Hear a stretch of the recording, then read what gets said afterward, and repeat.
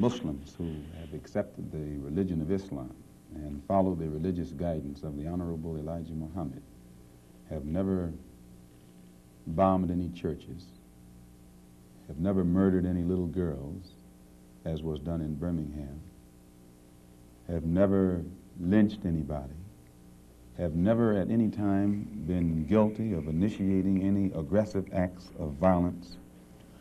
During the entire uh, 33 years or more that the Honorable Elijah Muhammad has been teaching us.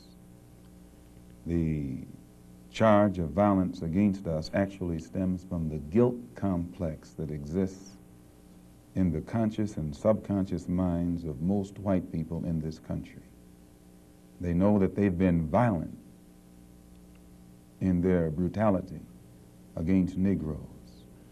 And they feel that someday the Negro is going to wake up and try and do unto them as they have done unto, do unto the whites as the whites have done unto us.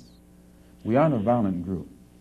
We do, uh, we are taught by the Honorable Elijah Muhammad to be, to obey the law, to respect everyone who respects us. We're taught to display courtesy, to be polite.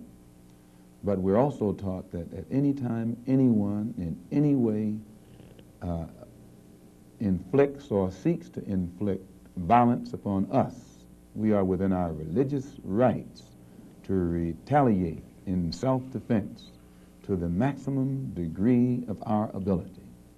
From October 1963, an interview with Nation of Islam leader Malcolm X. Sunday on American History TV's Reel America at 4 p.m. Eastern on C SPAN 3.